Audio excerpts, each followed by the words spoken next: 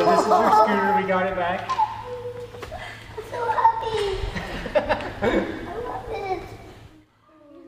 Seven year old Brantley is once again riding in style. On Sunday, his scooter was taken from outside the Lawrence Walmart. Police shared surveillance photos of the three women who took it online, kicking off a public effort to reunite the child and his scooter.